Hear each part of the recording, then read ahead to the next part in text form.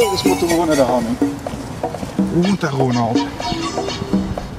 Ja, we zijn natuurlijk op zoek naar Ronald Hamming. Ik zie hier al het oude logo. Kom maar kijken. Zou hier immers wonen? De wet hoe Hamming woont. We gaan eens even aanbellen. Ik hoor al de gooie muziek. Aan de deur wordt hier gekocht. Goeiedag. Ja, met super Hamming ja. Door, door, door, door, door. En wat moet je bij Hamming? De ultieme... De Hamming. De Hamming, wat De moet je daar? Hammy, hammy, hammy, hammy, goal, hammy, goal, hammy, goal, lol, lol. Bedankt. Ja, zou er hier wonen? Ik weet het niet. Nee, wel. Ik weet het niet.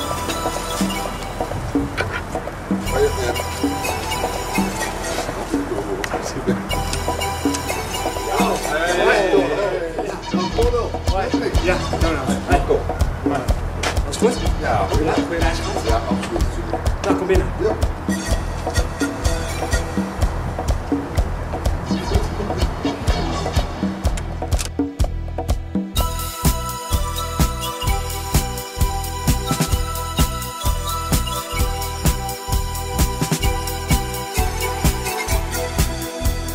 Ronald, we zijn hier uh, jou thuis. Ik moet zeggen, het, het ziet er echt helemaal geweldig uit.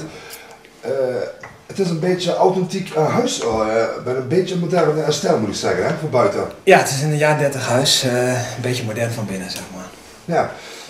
Ja, hoe is het eigenlijk met je en, wat doe je allemaal tegenwoordig? Ehm, ja, bij mij gaat het eigenlijk hartstikke goed. Met ons allemaal, de hele familie gaat goed. Ehm, ja, tegenwoordig niet zoveel met voetbal natuurlijk. Helemaal niks meer? Nee, nee, helemaal niks. Ja, bij mijn zoon die voetbalt en mijn dochters die, die volleyballen. Dus ik ben er wel bij de sport eh, betrokken en ik kijk natuurlijk heel veel. Maar eh, nee, ik heb nu mijn eigen rijschool, dus eh, mijn eigen lesauto en dat, daar heb ik het eigenlijk hartstikke druk mee. En dat gaat ook hartstikke, ja, gaat hartstikke goed eigenlijk. Het gaat hartstikke goed. Ja. Je zoon dus voetballen. Eh, wat voor een eh, teampje voetballen ze? Ja, die voetbalt hier, eh, hier vlakbij, het dorpsclubje, Dorpsclubje. FC Assen.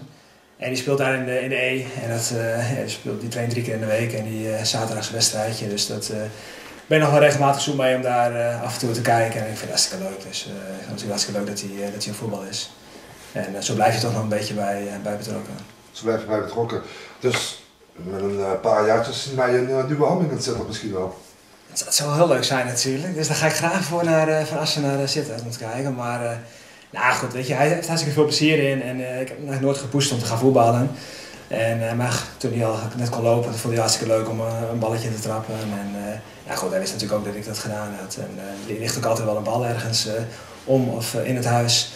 En ja, hij vindt voetbal echt geweldig. Dus maar goed, dat hoeft natuurlijk als hij zo lang niet meer plezier heeft. Dat, dat vind ik eigenlijk veel belangrijker. Dat is inderdaad het belangrijkste. Ja, kinderen moeten gewoon dat kunnen doen wat ze Precies, die moet gewoon plezier hebben. En, en mijn dochters die volleyballen dus. En dat vind ik eigenlijk net zo leuk om daar naar te kijken. Dus of ze nou voetballen, volleyballen, wat dan ook. Door je dochters, eh, je kinderen plezier hebben, dan, eh, dan eh, heb je het als ouder natuurlijk ook al snel. Dus het is nog een, een vrij sportief gezin. Ja, ja, gelukkig wel. Alle kinderen die sporten. Dus dat, dat vind ik wel hartstikke leuk. En dat stimuleren we natuurlijk ook wel een beetje. Want dat is natuurlijk hartstikke goed voor kinderen om te sporten. En ja, daar word je natuurlijk zeker niet minder van. Nee, precies. En Gelukkig kan het in dit land, in Nederland, Ja. kan ieder kind Ja, sporten. absoluut. Eh, ja, je voetbalcarrière, waar is die ooit begonnen? Die is bij een heel klein clubje eh, waar, ik, waar ik toen woonde, eh, Tinalo, eh, waar ik vlakbij woonde. Daar is dat begonnen. En toen ik een jaar of 13, 14 was in de C's, toen ben ik naar Achilles 1894 gegaan. Misschien iets bekendere club hier uit Assen. En toen moest ik natuurlijk wat vaker, vaker heen en weer, want dat was wat verder van, van huis af. En nou, ik denk dat ik op mijn 18 of 19 gescout ben door de, de FC Groningen tijdens een bijkenwedstrijd Achilles tegen FC Groningen 2 waarin ik net goed speelde op dat moment. Ja, dat, dat geluk moet je natuurlijk een beetje hebben. En eh, ja, toen ben ik bij Groningen eh, gekomen. Nou, goed, het verhaal daarna is natuurlijk bekend. Fortuna Veenam en, eh, en nog een jaartje bij Achilles. Je hebt bij Fortuna gespeeld. Moment eh, besloten om daar te stoppen, om, om, om naar Veendam te gaan. Was dat destijds een bewuste keuze of, of, of was dat nooit gedwongen? Nou, weet je, ehm, onze, onze tweeling werd, eh, net, was net op dat moment geboren in mei. En eh, ja, goed, bij Fortuna was het natuurlijk allemaal niet, eh, niet meer geweldig meer hè, qua, financiën en heel veel problemen. En ehm, kijk, ik was al een keer eerder bezig geweest met dat was al jaren eh, daarvoor, in van 1997 of zo. en gelukkig is dat toen niet doorgegaan, want daarna heb ik eh, goede periode bij, bij Fortuna gehad, eh, vooral onder Bert van Marwijk natuurlijk. En ja, goed, alle familie woont hier. Dus op, een gegeven moment alles bij elkaar. Uh, Veenam had weer belangstelling toen. En toen ben ik in wat is het, 2003 ben ik naar Veendam gegaan. En eigenlijk daar ook nog een hartstikke leuke tijd gehad. Ja, je hebt volgens mij, als ik het goed heb, het jaar dat je bij Veendam begon, uh, gelijk de eerste wedstrijd tegen Fortuna scoorde jij volgens mij. Dat klopt hè? Of ze bij het nou... Uh, nou, ik, ik, heb wel eens tegen uh, Fortuna gescoord, maar wat wel leuk was, was dat jaar daarvoor, toen ik net getekend had bij, bij Veendam. Toen kwam Veendam daarna naar Silla toe. En toen, toen, scoorden wij, toen wonnen wij met, met Fortuna. Toen scoorde ik nog een mooi, mooi lopje over de keeper heen. Scoorde ik voor mij nog een keer. En ja, dat was heel leuk. Ik heb net getekend bij Veendam en dan moet je tegen Veendam. En dan win je en dan scoor je twee keer. Dus dat was wel dat was heel erg leuk. Daarna heb ik voor mij nog wel gescoord tegen Fortuna. Maar als ik heel eerlijk ben, uh, moet ik dat ook nog uh, op gaan zoeken. Want, uh, ja, hoeft niet, hoeft niet. Dat, dat durf ik eigenlijk zo niet zeggen. We zouden het eigenlijk wel moeten, moeten weten natuurlijk. Want, ja, wat tegen doelpunt van, Fortuna die, die... Nee, nee, dat, nee, dat, het, dat zou waarschijnlijk zijn. Dat ik het daarom niet meer kan herinneren. Maar ja, nou, nee, het zegt, ben ik er wel eens in, aan het, over het nadenken. Maar nou ja, goed. Dat zal ik na de uitzending nog eens even opzoeken. Prima. Uh, carrière bij Fortuna, uh, ja, seizoen 98, 99, twee keer van Ajax gewonnen. Ja, de bekerfinale uh, onderuit tegen Ajax. Hoe heb je dat beleefd? Nou, dat was wel heel jammer, want die halve finale die, die wonnen we uit bij, bij PSV. en dat was natuurlijk hartstikke leuke wedstrijd, voor mij 2-1 geloof ik. En toen hadden we de finale gehaald, twee keer inderdaad gewonnen van, van Ajax. En voor mij persoonlijk was dat wel jammer, want ik raakte net geblesseerd een paar weken voor de bekerfinale. En uh, Guido Summons die, die nam mijn plaats in en die scoorde volgens mij toen tegen PSV een thuiswedstrijd iets van drie of vier keer in één wedstrijd. En die scoorde toen net voor die bekerfinale aan de lopende band. En uh, net voor de bekerfinale raakte ik fit, dus het was eigenlijk wel heel logisch dat, uh, dat Regilio uh, bleef staan. Dus ik zat op de bank tijdens de bekerfinale. Dat was natuurlijk wel heel erg jammer. En um, Mark was voor mij die wedstrijd ervoor ook nog, of nee, die halve finale tegen PSV kreeg hij nog een gele kaart waardoor die ook niet mee deed. Dus dat was wel, uh, wel heel erg jammer eigenlijk. En voor mij was het na 10 minuten in de bekerfinale, of een kwartiertje was de bekerfinale gespeeld. En uh, toen ben ik de tweede helft nog wel ingevallen met 2-0 achterstand. Maar dat was, wel, uh, dat was heel erg jammer eigenlijk. Dat was inderdaad jammer. Ja, ik zie daar een hele mooie voetbalkast. Ja. En, en, ja, ik durf het eigenlijk bijna niet te vragen, maar zullen we die bekerfinale eventjes uh, ja, overspelen? Ja, Bij Fortuna, ik Ajax, misschien win je hem dan wel. Nou, ik weet wel zeker dat ik win. Ja? Nou, ja, dat was eventjes... we zullen het zien.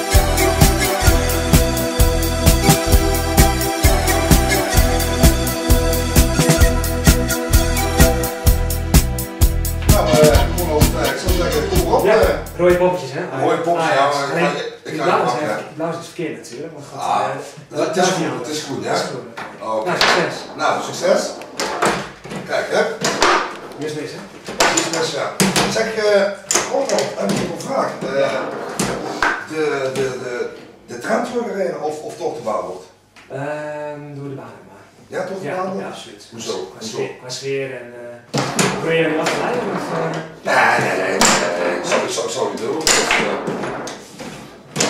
Maar qua sfeer dadelijk zeg je toch de, ja. de bal. Ja.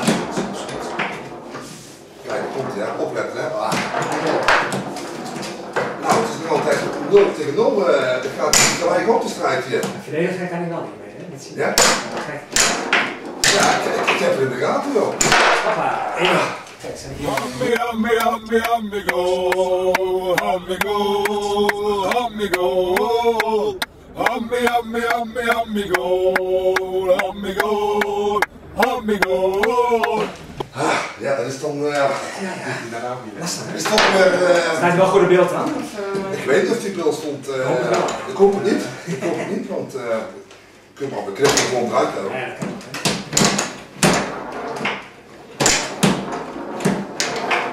Je zit hier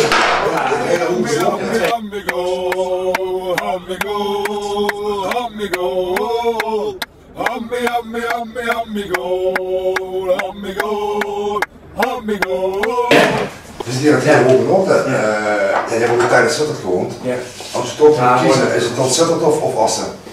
Uh, nou, qua omgeving en zo, uh, hebben in Born gewoond, dan was echt uh, Limburg natuurlijk wel, wel mooier dan hier.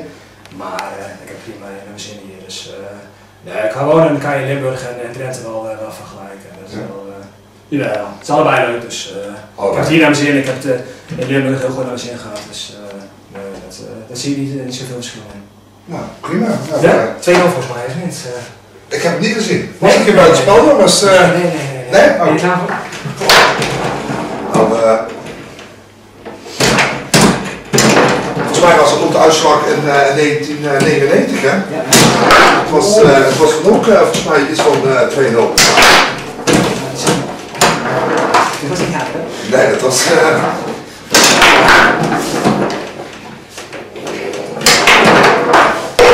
ik nog niet. eh, Wat was dat? Eh, ja, ja, ja, ja. Ja, ja. ja, 2-1. 2-1. Als we kiezen tussen, tussen profvoetballer of, of, of, of highschoolhouder, eh, Dat is niet zo moeilijk. nee? Nee, dan kies ik toch voor het voetbal. Dat voor Ja, voetballer? ja, ja. Ja, hoe zou dat dan? eh, Ja, weet je, lekker in de buitenlucht, eh, altijd buiten zijn, dat is natuurlijk eh, het mooiste wat er is in voetbal. En Het was al van- vanaf mijn zesde jaar al eh, wat ik het allerliefst deed. En als je dan daar je beroep van kan maken en je geld mee kan verdienen. Ja, dan is de overgang naar, naar de hele dag in de auto zitten is natuurlijk eh, wel heel groot. En ik heb er nu ook naar mijn zin, maar je moet het niet gaan vergelijken met, met voetballen. Want als, jij, als je voetballer bent, dan heb ik eigenlijk nooit zo in de gaten gehad eh, vroeger. Maar eh, ja, dat is gewoon echt het mooiste beroep wat er is. En je moet van elke dag eh, dat je voetballer bent, moet je genieten. En zo, als, je zo, als je door kan gaan met voetballen, ook al ben je wat ouder en je kan doorgaan en je bent nog van, van waarde voor het team, ja, dan moet je gewoon doorgaan, want er is niks leukers dan, dan voetballen. Dus ik zou het zo lang mogelijk blijven doen. Zo lang mogelijk blijven doen. Ja, ja, ja, ja, ja, ja. Het is 2-2. Tegen die dan of niet? Ja, we zetten al bij ons nog nu nog twee opzetten als we de vijf scoort. Ja, nee, je mag alleen maar met het voorste scoren. Oh, oh. En met achter. De middenveld mag niet niet scoren. Dus eh Dat is dan een pech, hè. ja, de keeper wel, maar. Kijk, daar niet meer scoren.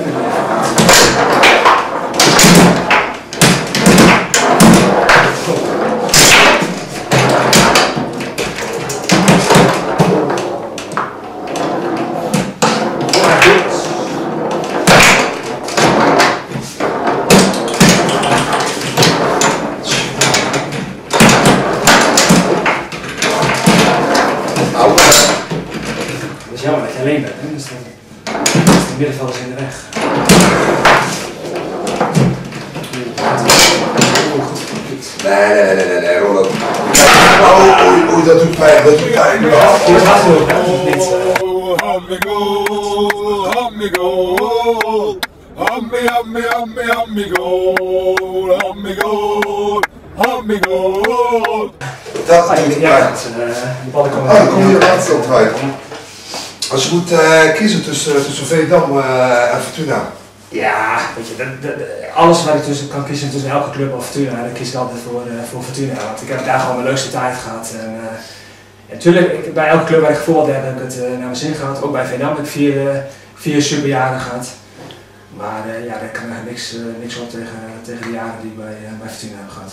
Dus je bent eigenlijk gewoon een, een keiharde geelgroene uh, Ja, ja, ik ben echt een Fortunees. En Wat ik, wat ik al vaker zeg, bij de uitslagen kijk ik ook eerst wat, wat Fortuna gedaan heeft. Ehm, en dan pas de andere clubs waar ik gespeeld heb. En dat zegt eigenlijk al genoeg natuurlijk. Dus nee, dat, blijft, dat zal altijd zo blijven. Altijd zo Het is dat ze geen, geen groen, gele poppetjes hadden, anders had ik dat gedaan.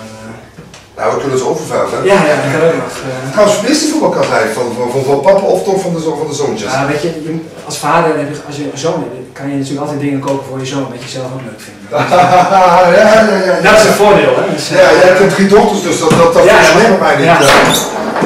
Of we wel poppen gaan spelen, ja, ja. ja, ik dat, meisjes kunnen voetballen. dat, dat, dat klopt, ja. Maar de, de van mij, ja, dat lijkt liever verstandig als die voetballer gaat. Dat is meer de schors als wat anders.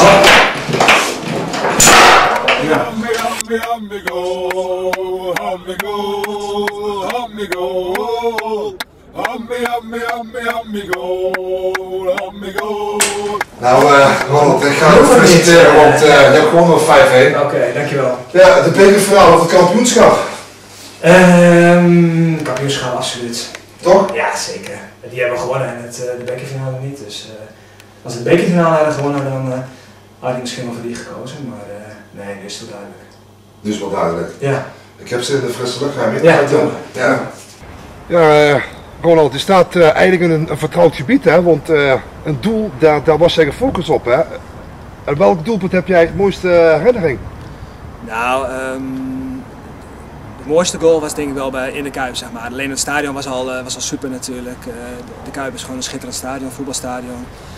Ehm, die wedstrijd wonnen we ook nog. Ik scoorde vanaf nou, ik denk 30, 35 meter een lop over Doerdek heen. Ja, dat was natuurlijk, dat was natuurlijk super. Dus dat je tegen een topclub kan winnen, twee keer kan scoren en ook nog zo'n doelpunt maken, ja, dat maakte de wedstrijd wel, wel compleet. Dat maakt het helemaal compleet. Ja. wat voor spits was Ronald Hamming in, in de tijd van Fortuna?